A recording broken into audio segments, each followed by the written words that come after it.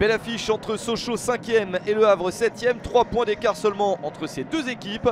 Sochaux avait réussi à remporter 3 matchs de suite avant de devenir plus irrégulier. Une victoire, un nul et une défaite sur les 3 derniers matchs.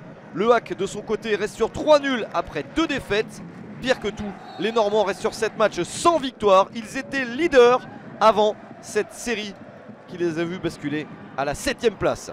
Sochaux est la première équipe en action. Le ballon est sauvé dans un premier temps par la défense, mais le gardien et son défenseur ne se comprennent pas. La mésentente entre Mathieu Gorgelin et Ertegrul Ersoy.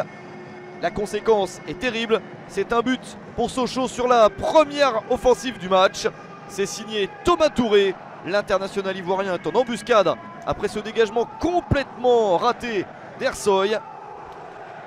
Deuxième but de la saison pour Thomas Touré, le joueur prêté par le SCO d'Angers. Réussit un bon début de match. Il était placé au bon endroit pour profiter de cette action. Réponse Avrez avec cette percée de Tino Kadewere. Puis ce tir pour l'égalisation. Mais l'arbitre invalide le but. Il a vu une légère position de hors-jeu. Le hack ne revient donc pas à un but partout. Sochaux continue à mener au score et se procure cette nouvelle occasion avec le tir de Jérémy Livolant. C'est sauvé par Mathieu Gorgelin. L'équipe de Paul Le Guen est menée au score à la mi-temps.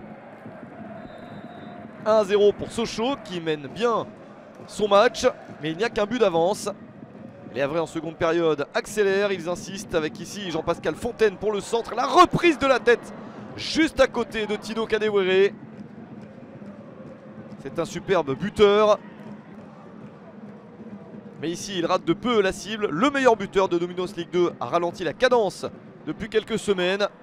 Voici une nouvelle opportunité avec un sauvetage fantastique de Maxence Prévost, le gardien et capitaine de Sochaux.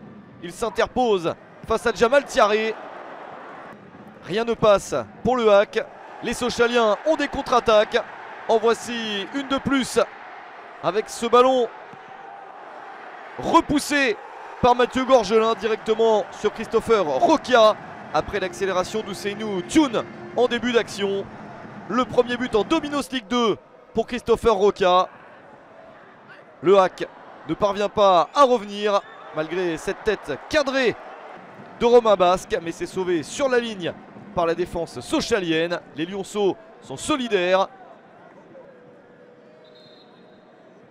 Ils parviennent à conserver leur avance jusqu'au bout. Victoire de Sochaux 2 à 0 contre le Havre.